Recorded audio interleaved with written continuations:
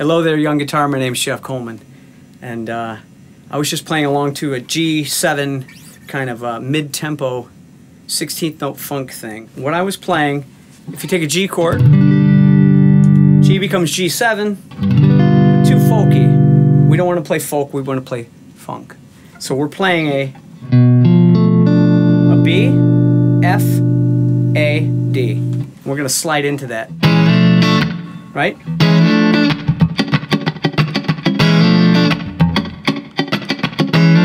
So you, when you play a groove, you want to break it down. You can't. I can't just teach you. And if I slow it down, there's a lot of things going on to get to this.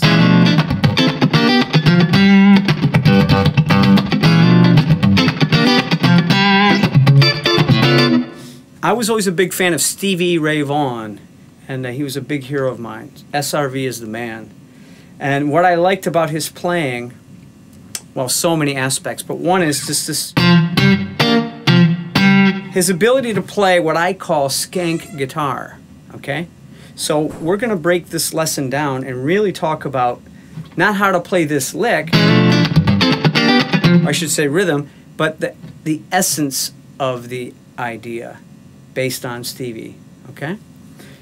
So what I'm doing, what you need to learn how to do is take a scale, like G pentatonic, and you need to learn to play one note and keep all the other strings quiet.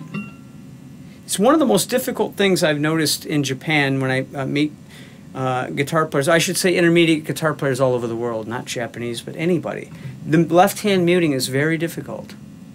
So to be able to go it's very difficult because it's about playing one note with your left hand, but you're playing all the strings with your right hand, or most of them.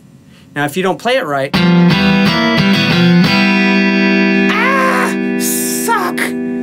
So, and a little bit of slop is good. You know, a little bit of uh, extra stuff is okay. So, so let's try this.